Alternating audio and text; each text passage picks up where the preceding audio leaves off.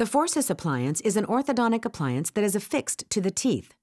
Springs mounted on the sides of the appliance force the lower jaw forward upon closure of the jaws, retraining the bite and correcting a Class II problem.